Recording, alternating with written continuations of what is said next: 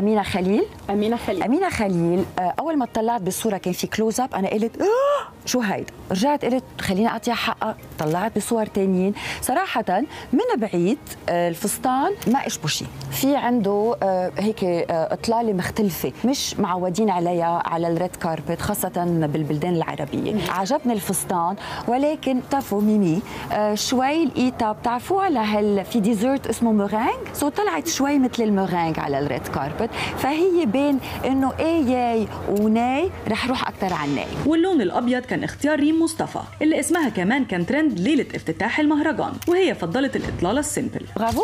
إنه كان عندها الجرأة تروح على فستان هالقد بسيط مستوحاة من التسعينات ولبسته ولبق لها ف yay واللون الأخضر كان عامل مشترك بين ناردين فرج ريا أبي راشد وهيلدا خليفة اللي لأول مرة بتقدم فيها الحفل في نسخته الرابعة. مساء الخير. وأهلا وسهلا فيكم جميعا بالدورة الرابعة من مهرجان الجونه السينمائي. هيلدا. thank you هيلدا.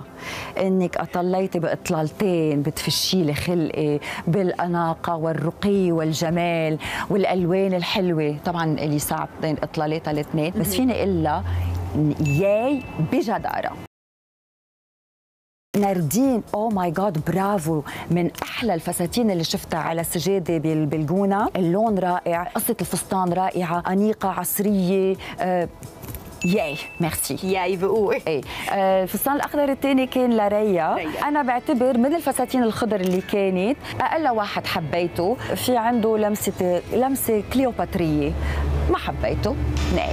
وأكتر من نجمة اعتمدوا اللون الأسود. منهم تارا عماد رشا مهدي هدى الإتربي وميس حمدان اللي طلت ب look في mix ما بين ال edgy وال classy. بس حمدان كيف لقيت اطلالتها ميس حمدان حبيت إنه في إطلالة جريئة لابسة اللاتكس من فوق. ما دائما بنشوف آه، هالنوع من الجلد على ال- السجادة الحمراء. حبيت انها عندها كانت هالجرأة وبنفس الوقت عادة اللاتكس دائما بننسبه لاطلاله هيك فيها إثارة. ولكن اطلالتها بالذات لأنه كانت مسكرة.